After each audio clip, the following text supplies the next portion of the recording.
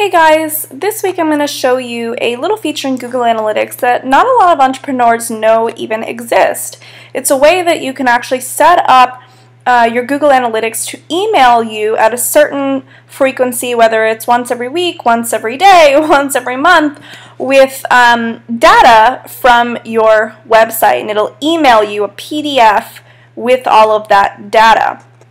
Uh, this was inspired by video number one of my money making website challenge, which I'll give you some details on in the newsletter. If you just look below this video, um, you can see how to join the challenge.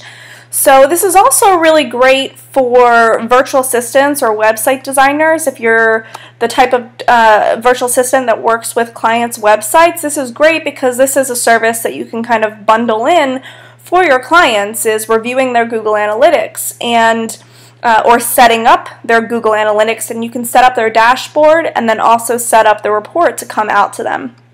So I'm here in Google Analytics and I've created a test dashboard for you. You would probably just go to my dashboard and it, it might look empty or it might have um, a starter dashboard from Google Analytics. But basically the idea is to add widgets with the important information.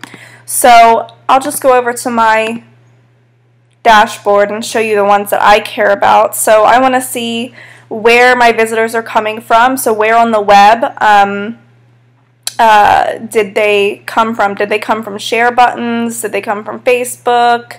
Um, Google? You know, where are my visitors coming from? I want to see what pages they're viewing on my website. I want to see what city cities they're in, just where they're located. Um, I want to know if they're new or if they're returning. I also usually like to see what browser they're on just because if I'm ever creating a funnel and there are issues with the funnel on certain browsers, I'll actually come back and look and be like, oh, well, not very many of my viewers use Internet Explorer. So if the bug is on Internet Explorer, then eh, whatever. So that's the only reason why I like that. I like to see what keywords they're using to get to my website. I also typically like to look at the day of the week that people are coming. You can also create other widgets to see the time of day that people are coming to your website. There's a lot of different things that you can track. If you set up goals, you can set up a widget to track how many goal completions um, there are on your website each day, each month, whatever. And then when you want to actually set up the automated report. So it'll be a PDF of um, this. You can export it as a PDF right here, and that'll just be a one-time thing. Or you can click email, put in the email that you want it to go to, put in the subject line, so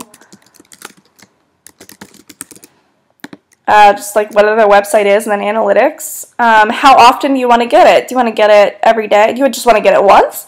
Do you want to get it every day, every week, every month, every quarter? What day of the week do you want to get it? And then put in some type of message and press send. And that will actually set up this report to come at that frequency to your email address.